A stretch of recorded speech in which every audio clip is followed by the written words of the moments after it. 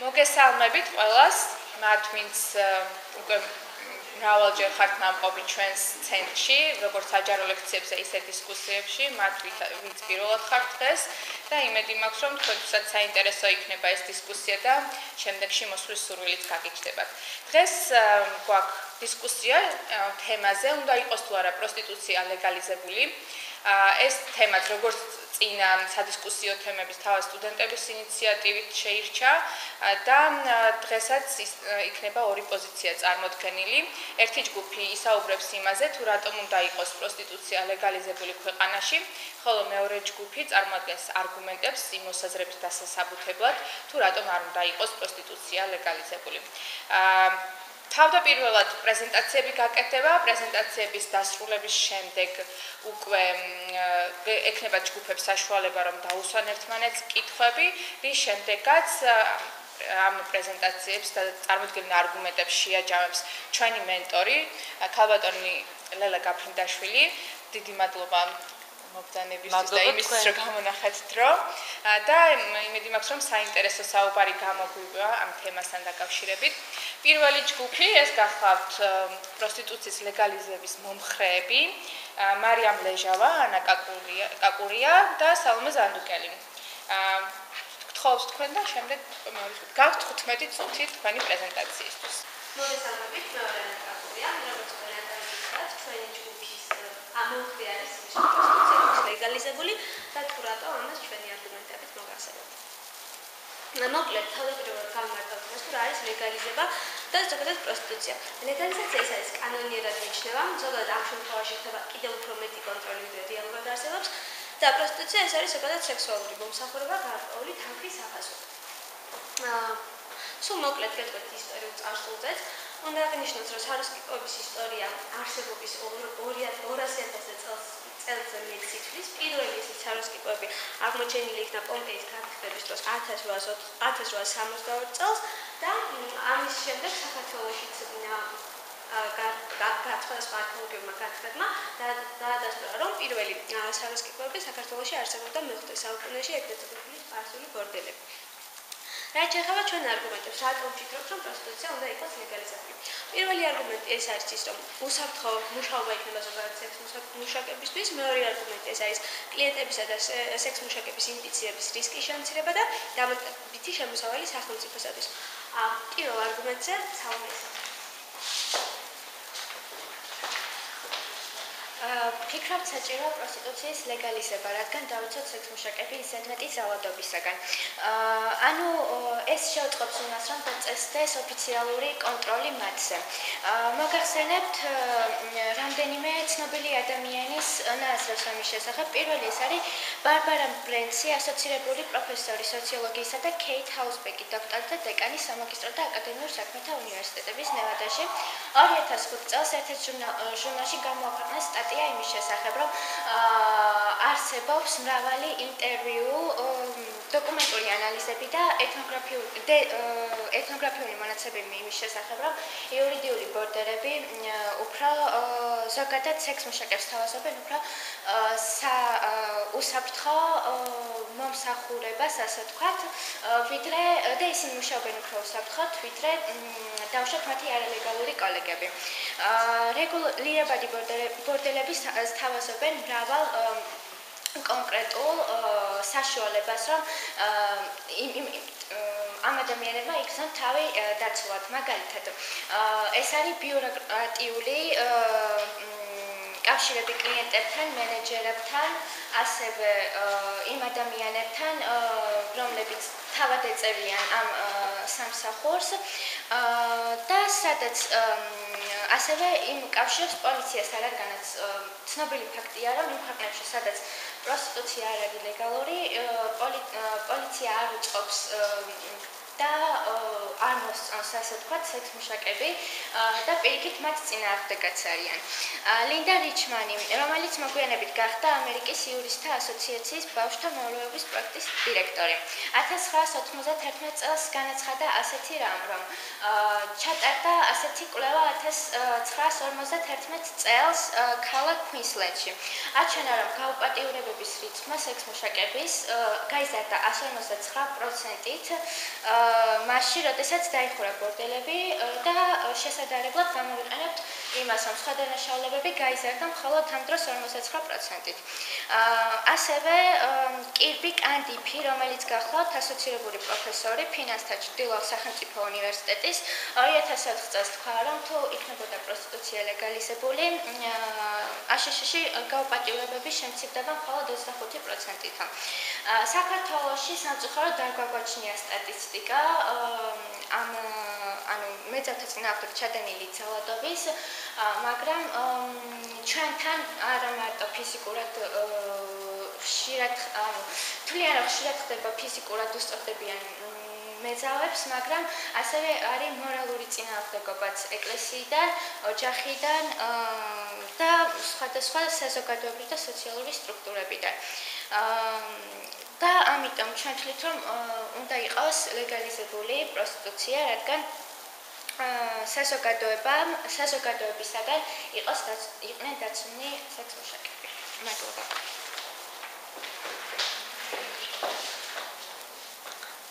შემდეგი არგუმენტი ჩვენი ეს არის უშუალოდ ჯანდაცვის კუთხე ჩვენ მიგვაჩნია რომ თუ პროსტიტუცია იქნება ლეგალიზებული ამ შემთხვევაში სექსმუშაკთა მდგომარეობა ჯანმრთელობის მდგომარეობა გაკონტროლდება ჯანდაცვის სამინისტროს მიერ რაც შეამცირებს ვენერულ დაავადებათა გავრცელების რისკს.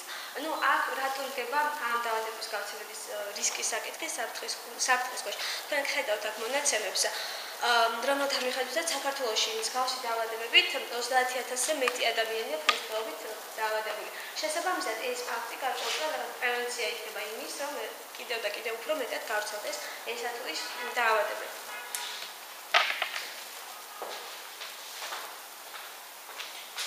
მოგესალმებით. მე ვისაუბრებ ჩვენს მესამე არგუმენტე, არგუმენტზე. ეს არის დამატებითი შემოსავალი სახელმწიფოსთვის.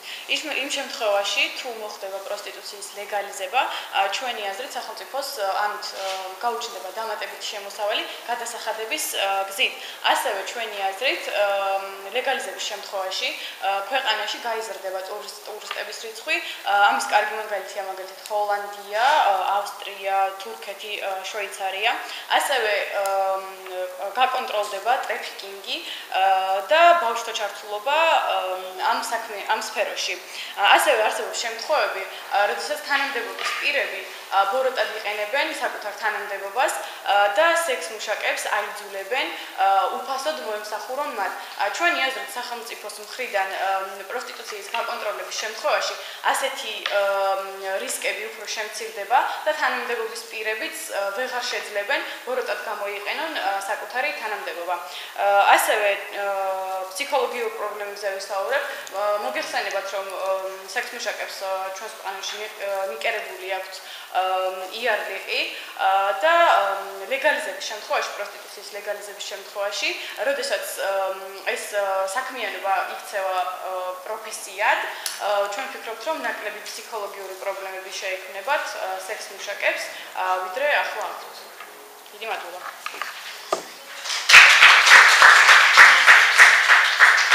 მადლობა. შემდეგი ჯგუფი გიორგი ბედოიძე, ხატია გოგოფია და მელან ცხარაძე. წარმოადგენენ არგუმენტებს თუ რატომ არ უნდა იყოს პროსტიტუცია ლეგალიზებული. ჩვენ ვართ გიორგი ბედოიძე, მელან ცხარაძე და ხატია გოგოფია და წარმოგიდგენთ თემას თუ რატომ არ უნდა იყოს ლეგალიზებული პროსტიტუცია არა მარტო საქართველოში, არამედ ზოგადად სოფლიოში. ა პირველ რიგში პროსტიტუციაზე საუბრისას ვიცით რომ საქართველოში არ არის ლეგალიზებული და აქ არის კონკრეტული სიცოცხლის სამართლის კოდექსის მუხლები რომ ის მიხედვითაც იკრძალება ლეგიტიმ ესე ვთქვათ პროსტიტუცია მაგრამ პირველ რიგში ვიტყვი იმას რომ გავრცელებული ეს შეხედულება რომ თითქოს ჩვენ პროსტიტუციის ლეგალიზების მომხრეები ამბობენ ეს რამის რომ უნდა მივიბაძოთ თქვა ლიბერალ დემოკრატიულ ქვეყნებს ევროპაში რომლებიც რომელთა უმრავლესობაში დაშვებულია პროსტიტუცია უბრალოდ ლეგალიზებულია პროსტიტუცია და არ უნდა მივიბაძოთ თქვა იმ ავტორიტარულ რეჟიმებს აზიაში რომელთა რომელ ქვეყნებშიც არ არის დაშვებული.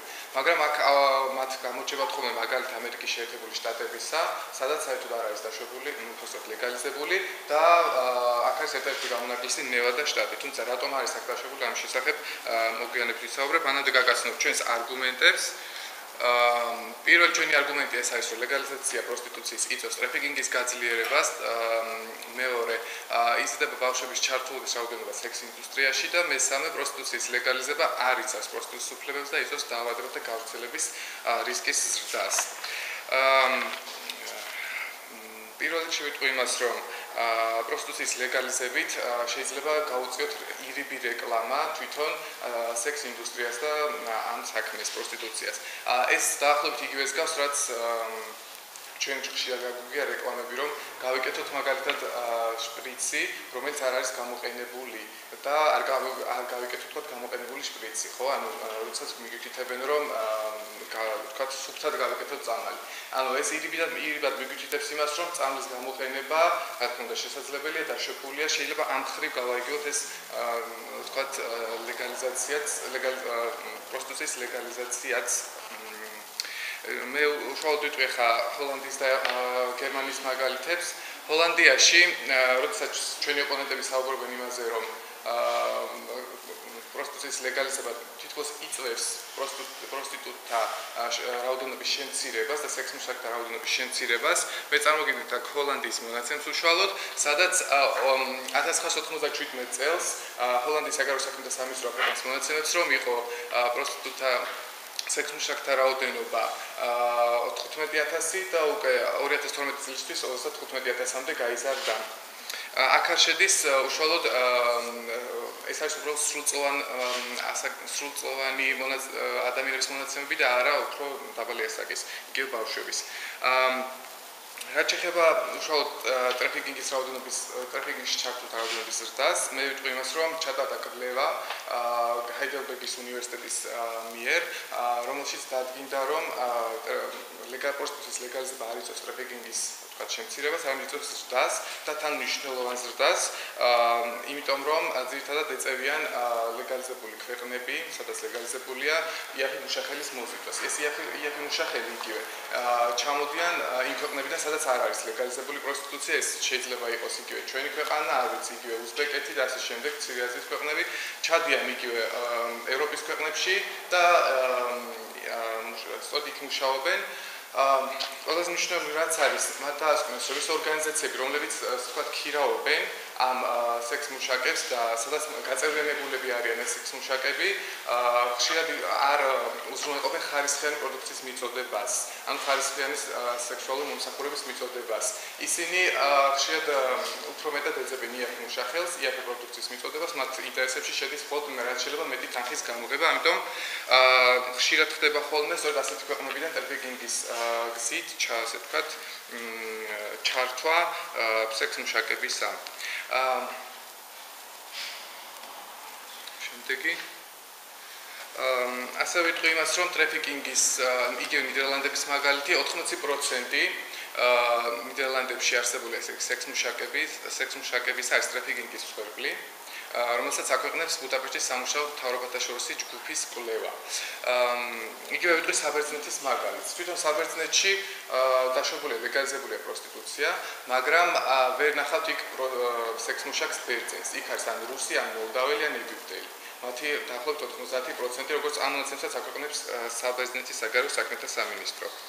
აა ჩვენი მეორე არგუმენტი არის ის, რომ იზრდება პროსტიტუციის ლეგალიზაციით ლეგალიზაციით ბავშვთა სექს ინდუსტრიაში ჩართვის რაოდენობა და ამის ნათელი დასტურია ჰოლანდიის საგარეო საქმეთა სამინისტროს მიერ გამოქვეყნებული ინფორმაცია და ასევე ამსტერდამის ბავშვთა უფლებების დაცვის ორგანიზაციის მიერ გამოქვეყნებული ინფორმაცია, რომელიც ამბობს, რომ 1996 წელს სექს ინდუსტრიაში ჩართულ ბავშვთა რაოდენობა იყო 4000 და 2001 წელს, როდესაც უკვე მოხდა ლეგალიზება, 2000 წლიდან ეს გახდა გაიზარდა 15000-მდე.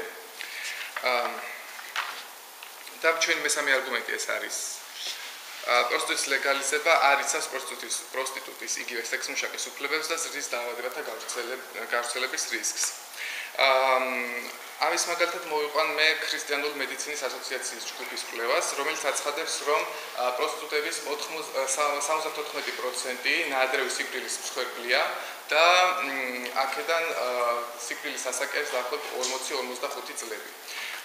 ასე ვიტყვი იმას, რომ ადგებათ არა მარტო ფიზიკური ზიანი, რომელსაც ვთქვათ, მხოლოდ ამ ხოდ მახვიდება ხოლმე ყურადღება, არამედ ფსიქიკური ზიანი წადგება, დაძგებათ ფსიქოლოგიური ზიანი, იგივე აქვს ხოლმე ნერვული აშლილობები, თვითონ ამ სექსმუშაკებს და მათი ჯანმრთელობის მდგომარეობა არ შეიძლება დავისვათ მხოლოდ უშუალოდ საკანონმდებლო დონეზე მისი ლეგალიზებით.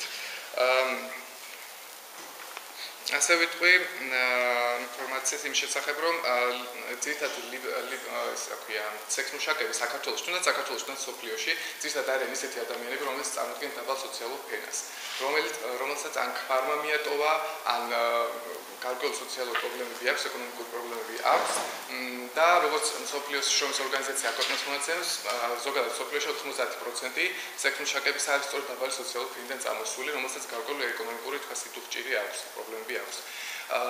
ამის გამო სწორედ ხდება იაფი მუშახელის ქირაობა, მე ის ტრაფიკინგი რაც უკვე მოგახსენეთ. და ყველაზე მნიშვნელოვანი რაც არის, ხშირად გვეუბნებიან რომ ჯანმრთელობას დაიცავს თქვათ პროსტიტუციის ლეგალიზება. არსებობს ტესტი, რომელსაც ჰოლანდიაში მაგალითად ყოველკვირეულად გადიან სექსმუშაკები, მაგრამ ეს ტესტი არ არის ესე თქვათ კარგად ჩამოყალიბებული, იმიტომ რომ თქვათ იგივე შიცის ვირუსის დაფიქსირება ხდება 6 კვირის შემდეგ პირველი ჩანასახის. რეალურად იმ 6 კვირაში, რაც უკვე რომელშიც უკვე არ დაფიქსირდა შიცის ვირუსი, ის სექსმუშაკი ემსახურება დაახლოებით 200 კლიენტს მაინც, ანუ იზრდება რამდენჯერმე სწორედ ამ დაავადების რისკი. რეალურად არ არსებობს გამართული ტექნიკა იმისთვის, რომ მოხდეს მათი შემოწმება და არც არც არ არსებობს იმის რეალური პრეცედენტი, რომ მოხდეს უშუალოდ კლიენტის შემოწმებაც. ეს არის ძალიან დაბალი პროცენტი, იმიტომ რომ თქვათ მე თუ არ სექსმუშაკი და ყავს ჩემი კლიენტი, მე ჩემ კლიენტს არ ამოწმებენ, მე გავდივარ შემოწმებას, მაგრამ ჩემ შემოწმების ეს პროცედურებიც არ არის სრულყოფილი. და ბოლოს ვიტყვი იმას, რომ ჩვენი ოპონენტების ასე ვთქვათ არგუმენტს შევეწინააღმდეგები მის შესახებ, რომ ზრდის ვთქვათ სახელმწიფო შემოსავალს. კი ბატონო ზრდის სახელმწიფო შემოსავალს, მაგრამ იკლებს თვითონ სექსუშაკების ხელფასების რაოდენობა. იგივე ბრიტანეთში მაგალითად მანამ ლეგალიზდებოდა პროსტიტუცია, მანამდე ხუთჯერ მეტ ხელფასს იღებდნენ, ხუთჯერ მეტს გამოიმუშავებდნენ, ვიდრე დღეს, როცა ლეგალიზებულია პროსტიტუცია. და საბოლოოში ვიტყვი იმას, რომ მანამ საქართველოში ვისაუბრებთ იმაზე, მოხდება თუ არა ლეგალიზაცია, უნდა გავანალიზოთ ის სოციალური და საზოგადოებრივი აზრი, რაც დღესდღეობით საქართველოში არსებობს და ის შესაძლებლობები, რაც მთავრობას აქვს, რომ განახორციელოს მათი ან ჯანმრთელობის დაცვის კუთხით, ან საერთოდ უსაფრთხოების უზრუნველყოფის კუთხით.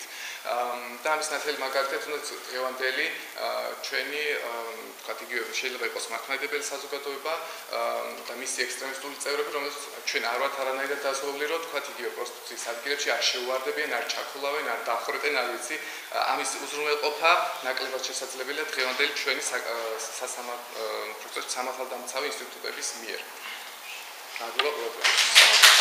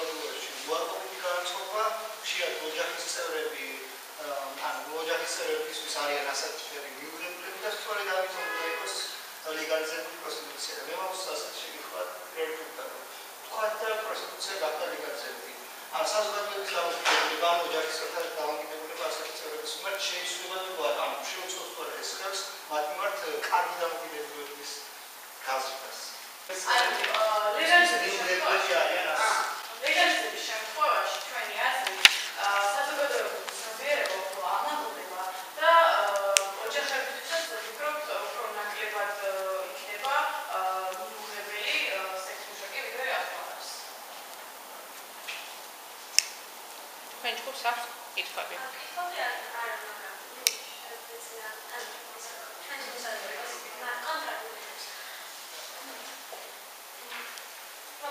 Trying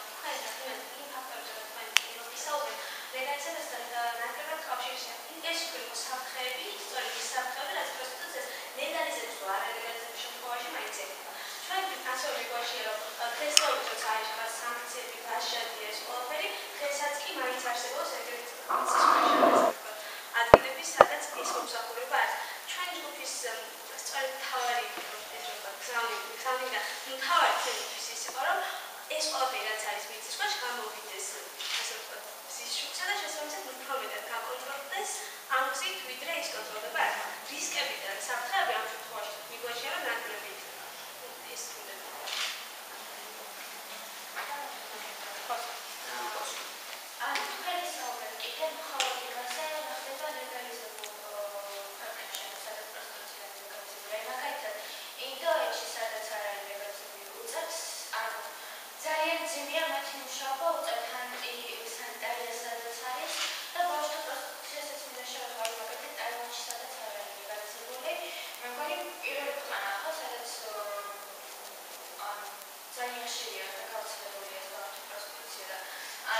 ამის შესახებ თუ გქონდათ რამე ვიპასუხებ მე ჩვენ ვისაუბრეთ იმ თემაზე თუ რატომ არ უნდა იყოს ლეგალიზებული, მაგრამ არ უნდა იყოს ლეგალიზებული აქ ჩვენ ყველა იმ შემთხვევაში ვერ განვიხილავთ იგივე აზრის ქვეყნებში, ხო რა ხდება. ჩვენ ვისაუბრეთ იმ შესახებ თუ რა საფრთხეები შეიძლება გამოიწვიოს ამას საქართველოში. საფრთხები გამოიწვიოს ის საფრთხები, რასაც თქვენ ვისაუბრეთ, ის დღესაც მართალია დეტალურად ამის ამაზე, მაგრამ ლეგალიზებით თუნდაც იგივე ეს არ არის ლეგალიზებული. ხო, იგივე ლეგალიზაცია საფრთხები ვერ ამოიწურა. მე ვისაუბრე მხოლოდ ჯანდაცვის სისტემაზე. ვისაუბრე სამართალდაცვა ინსტიტუტებზე. იგივე მოგიყვანთ ლეგალიზებული იტალიის მაგალითი, სადაც ხდება ხოლმე იგივე სექსმუშაკების ჩართულობა, ხოლმე ის ძალიან დიდია და მათი მკვლელობაც კი ხდება ხოლმე თვითონ დამქირავებლების მხრიდან. იმიტომ რომ აბსოლუტურად ყველაზე ნელი ქვეყანა შეიძლება ამ ხრივ ითქვას იტალია. იმიტომ რომ აი ეს მომენტი რომ იგივე ტრაფიკინგის მსხვერპლთა უფლებებსაც ვაკავშირდება სამართალდამცავ ინსტიტუტების მხრიდან. რატომ? იმიტომ რომ სახელმწიფო მიმართული რა შეიძლება მეტი ფული ამოიღოს მათგან და სამართალდამცავ ინსტიტუტებს აქვს სპეციალურად დავალებული ნაკლებად შეხვონ იგივე ფუნქციებს სამართალდამცავ ინსტიტუტების კონტროლი მაკონტროლებელ ფუნქციას. ანუ ისინი არ უწევენ განსაკუთრებულ ასე ვთქვათ ზედამხედველობას ამას. და მეორეს ამ იმას კეთვით აი ბავშვთა პროსტიტუციაზე რომ იგივე ტაილანდში სადაც ის დაშვებულია, არ ფიქრობთ იქ იქ არ კონტროლდება ეს პირიქით კონტროლდება მიუხედავად იმისა, რომ ის არ არის ლეგალიზებული. კონტროლდება იგივე იქ არის რამდენიმე არასამთავრობო ორგანიზაცია, რომელსაც რეალურად არ აქვს რაღაც განკონტროლებული პერკეტები, იქაც გააკონტროლებს, მაგრამ საავადმყოფო აქვს მაღალი საზოგადოებრივი გავლენა იგივე ტაილანდში. და მაღალი გავლენა იგივე პოლიტიკურ ელიტებზე, რაც პოლიტიკურ ესტაბლიშმენტზე. ანუ არის იქ შემთხვევა, რომ მათი რამდენიმე დასკვნა ის საკმაოდ სიახლოვე ტაილანდის პოლიტიკური ელიტებისთვის, რომ რაღაცა შეცვალონ, რაღაცა განახორციელონ. ანუ იქ ასეთი, თქვა, შეფარული პროსტიტუციის ადგილები არ არსებობს. იქ არის უშუალოდ როგორც ტურისტული სფერო, მართალიც არ არის ლეგალიზებული, მაგრამ იქ ეს ამ ხრი დაცულია მაინც სახელმწიფოს მხრიდანაც. უშუალოდ ლეგალიზებული არ არის იგივე დავამატებ თვითონ თქვენი ერთ-ერთი არგუმენტი იყო რომ ეს გაზეთი და ტურისტების ქვეყანაში და ჰოლანდიის მაგალითი ყავდა პროპანი. ალბათ საქართველოს და ჰოლანდიის შედარება ცოტა უხერხულია, იმიტომ რომ საქართველოში ჩვენი ძალოვანი დაცვის ინსტიტუტები საკმაოდ მყიფია და იგივე კონსტიტუცია რომ ლეგალიზებული იყოს ეს მეზობელი ქვეყნები და რიცხვი გაზრდის ბევრი ადამიანის ადამიანების შემოდინება იქნება ასე ვთქვათ და მე ძალიან ჭმეპარება და როგორც თქვა როგორ ფიქრობთ მაინტერესებს სახელმწიფო როგორ მოახერხებს რომ შეიმუშაოს ეს მექანიზმები, რომ დანაშაული დაავადობა და შემდეგ ფაქტები იქნეს აღნიშნული და გაკონტროლებული, მოკლედ ეს განსხვავებული იქნება და თითქმის შეუძლებელი იქნება, რაც კიდევ უფრო დიდ საფრთხეს წარმოადგენს არა მხოლოდ სექს მუშაკებისთვის, არამედ იმ ადამიანების თვითონის მოქალაქეებისთვის. რამაც შეიძლება დაძაბოს ურთიერთობა, ხო? კი, უპასუხო და მე ანუ როგორც მოგეხსენებათ, ჩვენს კონჯი არის ხოლმე პროსტიტუცია, მაგრამ დანაშაულის რისკი, ანუ რისკი არსებობს ყოველთვის. იქნება ეს ტურისტი თუ ადგილობრივი ხო ჩვენ ქართველი. ანუ ყოველთვის არის ამის რისკი. და როდესაც სახელმწიფოს მხრიდან გახდება კონტროლირებადი ეს პროფესია, ჩვენ ფიქრობთ, რომ სახელმწიფოს ექნება იმის მექანიზმი, შეიმუშაოს მექანიზმებს, რომ აკონტროლოს ასეთი რისკები. ანუ კრიმინალი იგივე მოდელებში და ჩვენი აზრით ანუ არ არ იქნება ესეთი რისკი, ანუ რისკი ყოველთვის იარსებებს. ლეგალიზებული იქნება თუ არ იქნება. მაგრამ მაგრამ ხალხს გააჩნია ხო? რისკის ხო? ანუ ანუ იქიდან არის და რაზეც არის გარკვეული უბრალოდ დრო არ ხდება ხო ყოველთვის მოგესალმე ამიტომ გვერდით ჩვენ სწორედ რომ ნეგატიურად თვითონ თავისთავად ეს იყო რომ ხოს კიდევ უფრო მეტ კონტროლს და შესაბამისად ამ სწორედ ამიტომ გვაჩნია სწავლობთ აი ყველაზე დიდი არგუმენტი რაც თქვენი იყო მე რაც მოსმინე ის ხო ჯანმრთელობის დაცვა ხო? აა მათი მხრიდან. მე გეტყვით რომ გერმანიაში ქრისტიანული მედიცინის ასოციაცია არის ესეთი რომელსაც ჩატარა კვლევა და კვლევის შედეგების მიხედვით მხოლოდ 15% სადაზღვევ პოლიციას გერმანიაში გადაცემული და სექსმუშაკებს და მხოლოდ 15% სრულდება სრულად. 15% სარგებლობს სამსადაზღვევ პოლიციის სრულად. ამ მომსახურებით იქაც არ არის ასეთი გამართული სადაზღვევ სისტემა. და ჩვენ საქართველოს პიროვნულ პირობებში არ ამგონია ჯერ ერთი დაზღვევის შესაძლებლობა ქონდეს ჩვენ ქვეყანას სამართალ იგივე ვთქვათ ჯანმრთელობის დაცვის შესაძლებლობა ქონდეს ჩვენ ქვეყანას დღეს მათი. და ფინანსური არასწავლების და შემდეგ მათი ზიანის არასწავლების.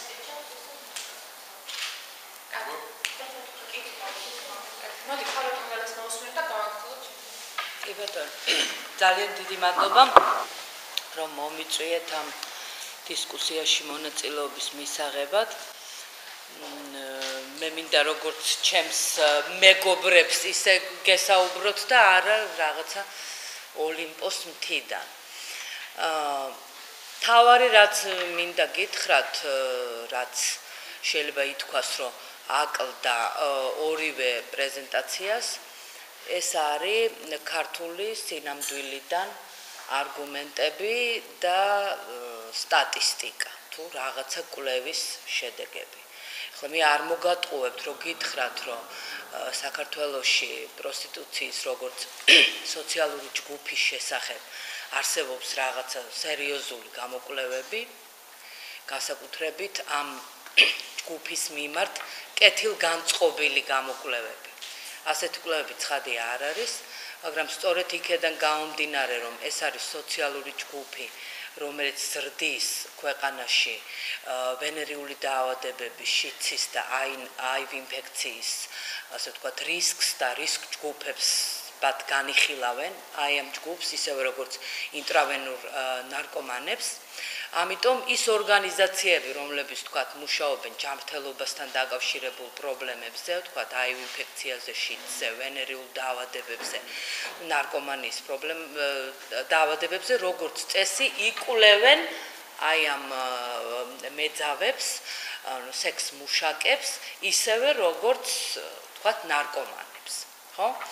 ამიტომ შეიძლებოდა მოძიება ძირთად არასამთავრობო ორგანიზაციები არიან ესენი, ვთქვათ, როგორიც არის თანადგომა, ყველაზე უფრო ესეთი გრძელვადიანი ხანდაზმული არასამთავრობო ორგანიზაცია ამ სფეროში მომუშავე და მათ აქვთ ძალიან საინტერესო მონაცემები მეძავებთან დაკავშირებით. ეხლა ცხადია, ეს არ არის ჰომოგენური ჯგუფი საქართველოში.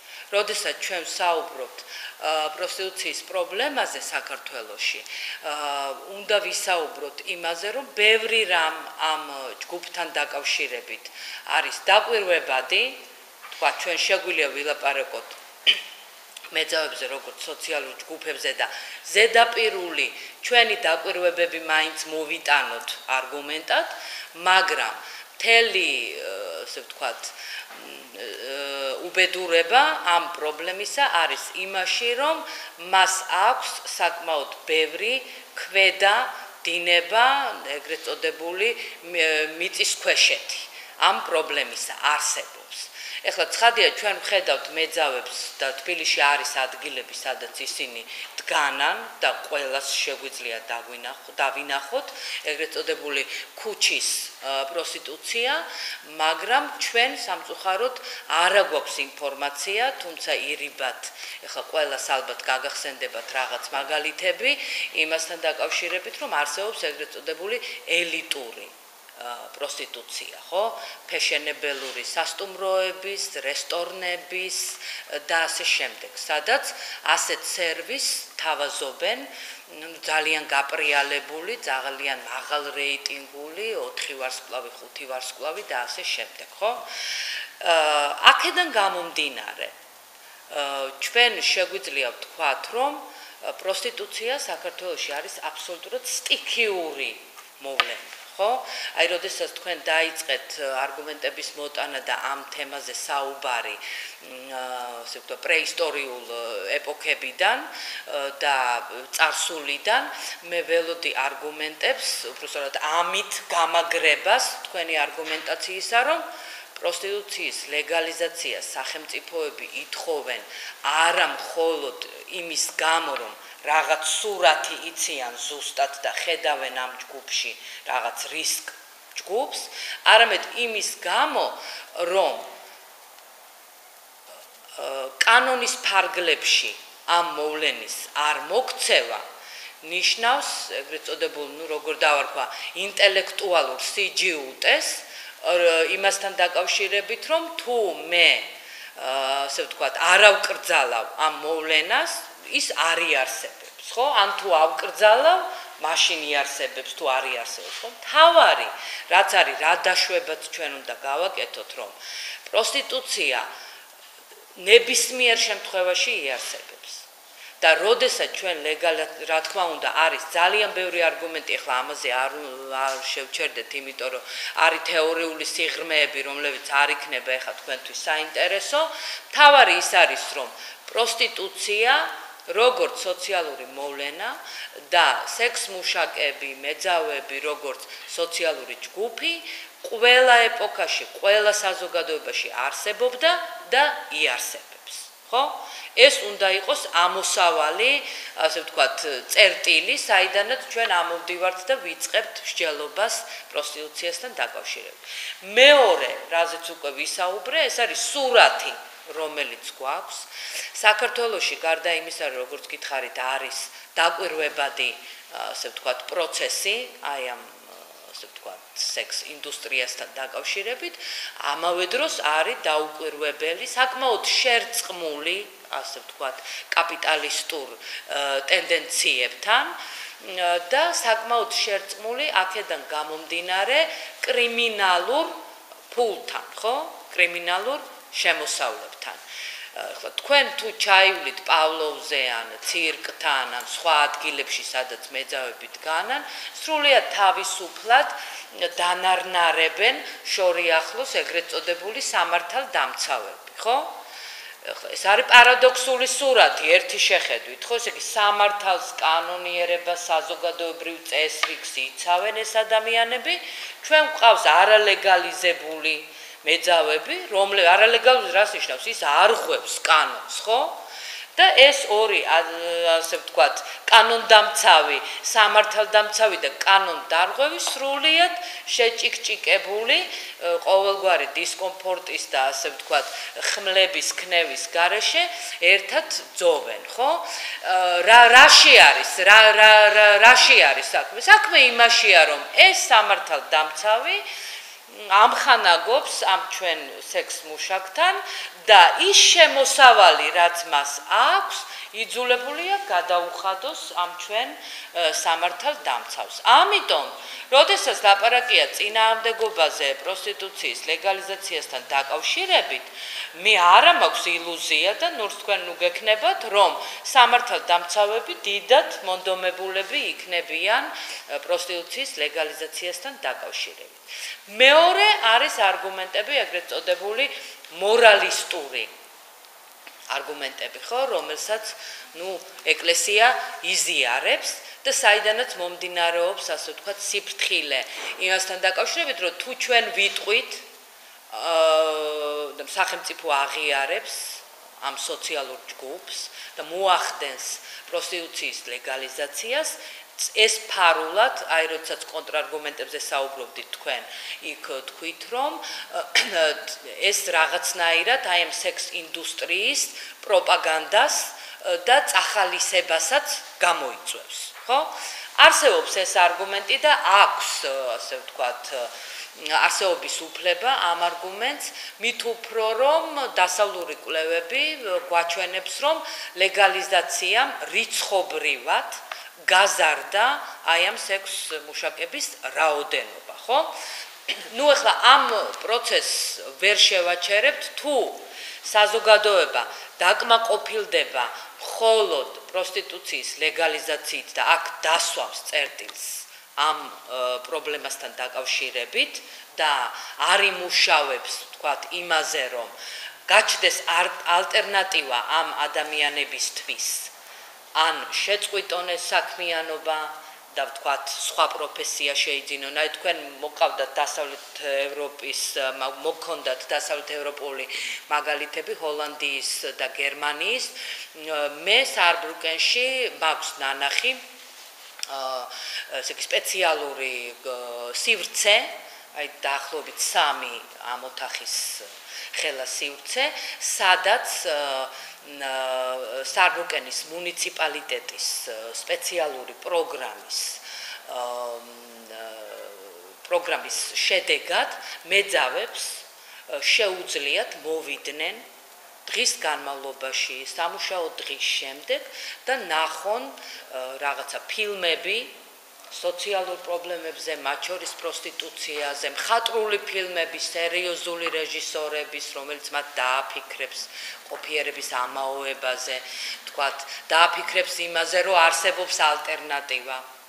არსებობს ალტერნატივა ყოველთვის ადამიანისთვის, შეიცვალოს მისი პროფესია, თქვათ, დაინტერესდეს რაღაც ახლით, ასევე წაიკითხონ წიგნები და ასე შემდეგ. ხო, ხა ეს რამდენად შესაძლებელი არის საქართველოსში რო ხა თბილისის მერიაში არსებობდეს ასეთი მუნიციპალური პროგრამა? ეს სხვა საკითხია. მაგრამ აი როდესაც მე ვსაუბრობ იმაზე რომ პროსტიტუციის ლეგალიზაცია არ ნიშნავს პრობლემის მოხსნას გულისხმობს სწორედ საზოგადოების და სახელმწიფოს უწყვეტ რეფლექსიას პროსტიტუციაზე როგორც სოციალურ მოვლენაზე ხო? ასევე ხაზი მინდა გაუსვა უსაფრთხოებას აა, როდესაც საუბრობთ უსაფრთხოებაზე, რას გულისხმობ?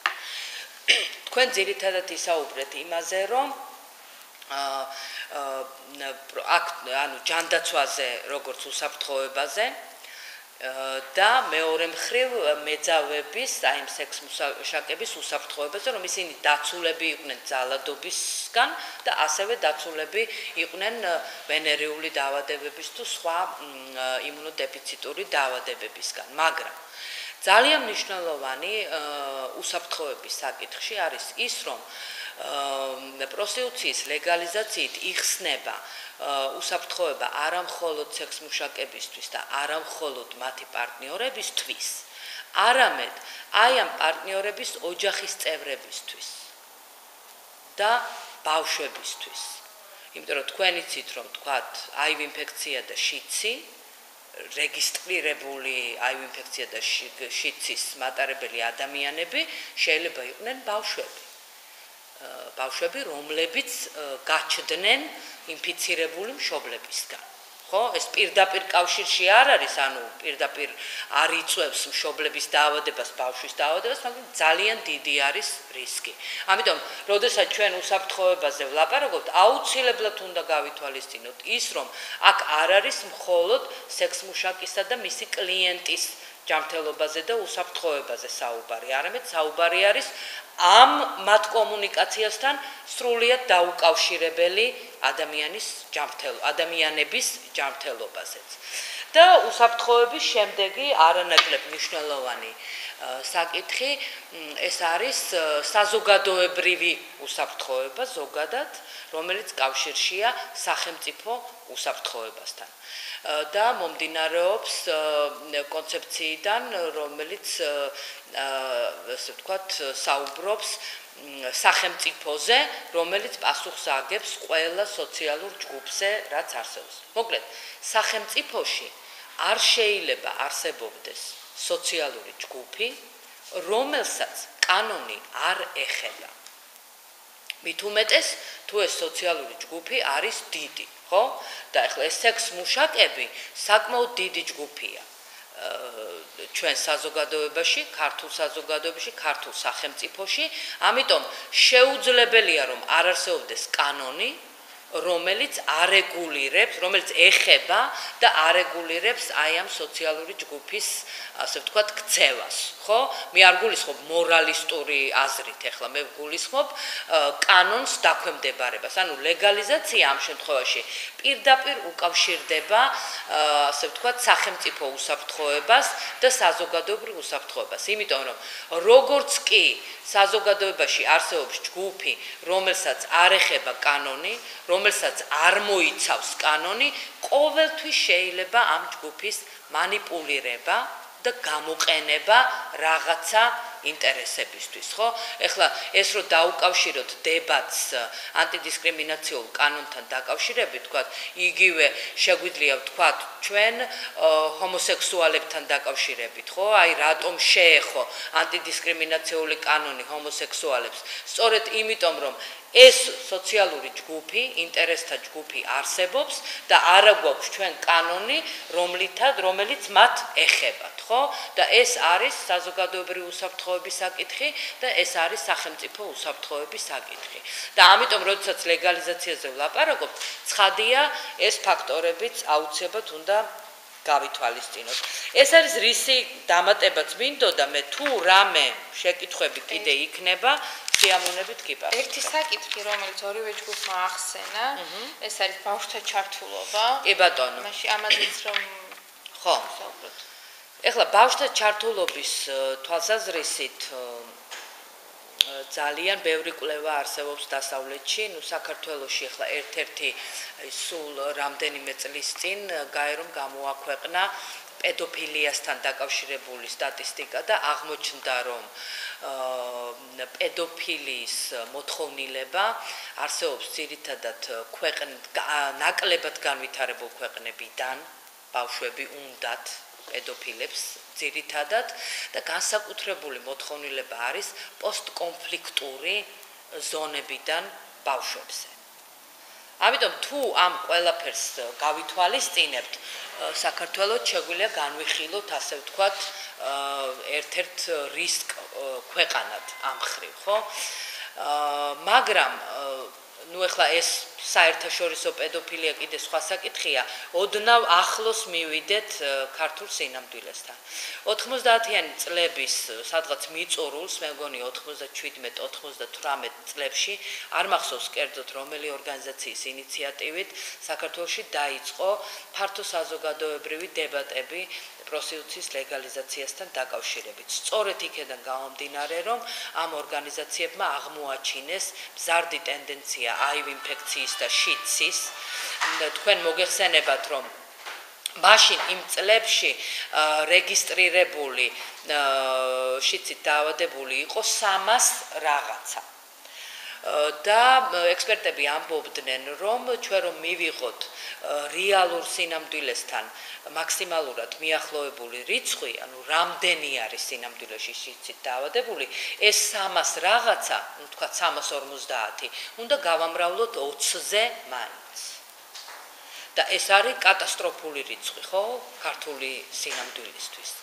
ამიტომ მათ დაიწყეს, ასე ვთქვათ, კამპანია და რადგან კუჩის პროსტიტუცია მაშინ ყვაოდა და ეხლაც არ ჩამორჩება, საკმაოდ მზარდი, ასე ვთქვათ, რიცხვი არის არა მარტო თბილისში, არამედ რეგიონებში, ზღვისპირეთში, ვთქვათ, ისეთ რეგიონებში, რომლებზეც გადის, ასე ვთქვათ, ტრასები ძირითადად ხო, მიგრაციული ნაკადი, ყველაზე ძლიერი რომელ რეგიონებშიც არის, ის იქ ყვავის ეს ინდუსტრია.